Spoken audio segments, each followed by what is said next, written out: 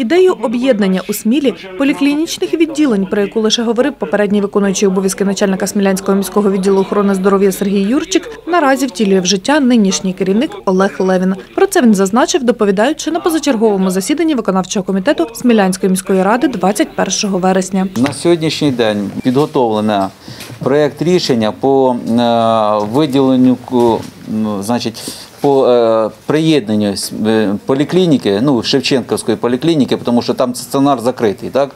По приєднанню поліклініки до е, Смілянської міської поліклініки. Тобто Шевченко Волошину.